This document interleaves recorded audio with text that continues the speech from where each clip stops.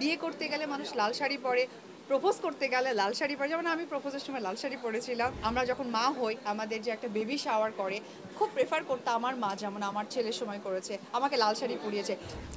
আপু সম্প্রতি আপনি আজকে শর্টকাট সিনেমার জন্য কলকাতায় গিয়েছেন আপনার সফর কেমন ছিল? ভীষণ ভালো ছিল আর তার থেকে ভালো ছিল যে প্রথমবার কলকাতায় সিনেমা একটা করেছি সেটা আমি কলকাতার মানুষকে খুব সুন্দরভাবে জানাতে পেরেছি এটা ভালো লেগেছে। ওখানকার দর্শকদের কেমন সাড়া পাচ্ছেন? ভীষণ। আই থিঙ্ক আমার মনে হয় আপনারা সবাই পর্যন্ত দেখেছেন। আসলে সবাই খুব পজিটিভভাবে আমাকে নিয়েছে। এটা আমার ভীষণ ভালো লেগেছে। এই সিনেমার মাধ্যমে তো কলকাতায় আপনার জার্নিটা শুরু হলো। আমরা কি কলকাতায় আপনাকে নিয়মিত দেখতে পাবো কিনা? আমার ইচ্ছে আছে সিনেমাটাকে রিলিজ হোক। দর্শক আমাকে কীরকমভাবে রিসিভ করে? যেহেতু আমি বাংলাদেশে পরীক্ষিত একজন আর্টিস্ট তো ওই জায়গা থেকে আমি আগে তাদের রিসেপশনটা দেখব অ্যান্ড ডিসাইড করব। বাংলাদেশের সিনেমার কি খবর? আমার এই মা, সেপ্টেম্বরের ষোলো তারিখে তো আজকে শর্টকাট রিলিজ তারপর তিরিশ তারিখে ইশাখার রিলিজ আছে। আর ছায়াবৃক্ষটাও ভেরি সুন রিলিজ করে দেবে, হয়তো ডেটটা এই মুহূর্তে বলতে পারছি না। তো এই জায়গা থেকে খুবই ভালো লাগছে। আর সাথে সাথে লাল শাড়ি আমার প্রযোজনা প্রতিষ্ঠান থেকে অনুদানের একটি সিনেমা আমি শুটিং করতে যাব। সব কিছু মিলে সত্যি মানে মনে হচ্ছে খুব উৎসব উৎসব একটা মনে হচ্ছে।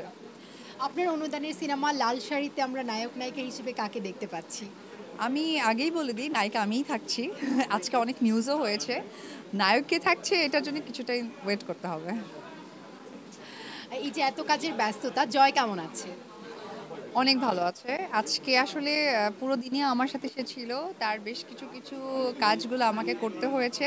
কারণ আমি মানে নায়িকা তারপরে আমি আমার একজন মাও বটে। তো সেই জায়গা থেকে দুটো ক্যারেক্টারই আমাকে প্লে করতে হয়। প্রায়োরিটির জায়গায় কোনটা আপনি বেশি প্রায়োরিটি দেন মা না নায়িকা? হান্ড্রেড পার্সেন্ট মা। কারণ কি এটা একটা অন্যরকম প্রাউডের ব্যাপার। আরেকটা কথা আপু এখন যেহেতু শাকিব খান দেশে জয় এখন কার কাছে থাকে? আপনার কাছে না বাবার কাছে আছে? দুজনের কাছে। আমি যেমন কলকাতা ছিলাম, আমি ওর বাবার কাছে রেখে গেছি। এখন আমি আসছি, সে তো এখন দু জায়গাতেই থাকছে। এখন যেহেতু ওর দাদা দাদি, ওর বাবাকে অনেক বেশি প্রায়োরিটি দেয়। সো এখন আমার বাইরে যাওয়া বা কাজ নেওয়ার টেনশন নাই, কারণ সে তাদের সাথে থাকতে অনেক বেশি স্বাচ্ছন্দ্য বোধ করে। আর এই যে জীবন চলছে কাজের বাইরে পার্সোনাল জীবনে আসলে ভবিষ্যৎ পরিকল্পনাটা কি?